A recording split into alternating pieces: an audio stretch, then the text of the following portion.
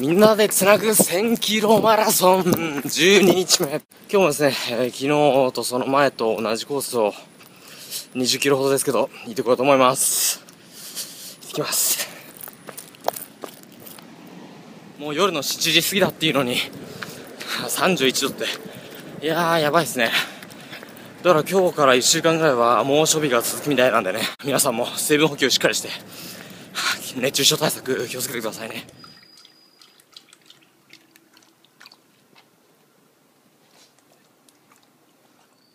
今日もですね、ちょっと帰りまた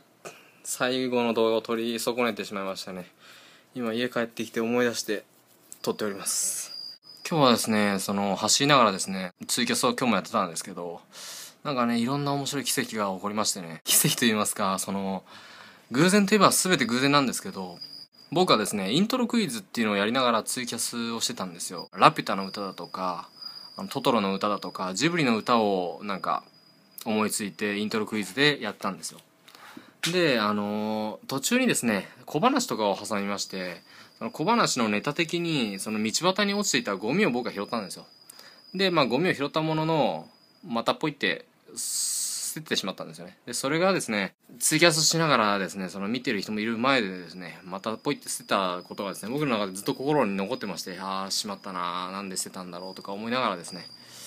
ずっと心残ってたんですよ。でそうこうしてる間にその今日は2 0キロの目標だったんで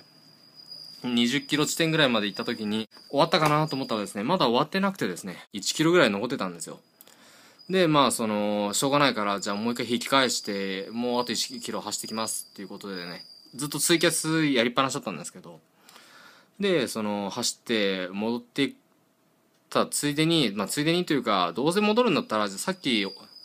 あのほかったゴミを拾ってって最後コンビニに捨てようと思いましてで最後そのゴミを拾ってもう一回拾いに戻りましてね。でコンビニに捨てに行ったんですよ。でそしたら駅のコンビニのゴミ箱に僕は捨てに行ったんですけどちょうど駅でね弾き語りをやってる人がいましてでその人がまあただの偶然なんですけどジブリのカントリーロードですね、まあ、ジブリのっていうかあのカントリーロードの曲を歌ってましてね。ツイキャスをですね綺麗に締めれたわけなんですよ。単なる本当偶然って言えば偶然なんですけどあの時ゴミを拾ってなかったりだったりコメントをくれてなかったりだったり誰か見ている人がいなかったりだとかちゃんと走りきれていたらだとかいろんな偶然が重なって駅のコンビニにゴミを捨てに行くことになりカントリーロードを引くことができたっていうね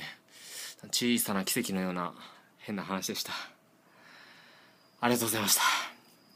ではまた。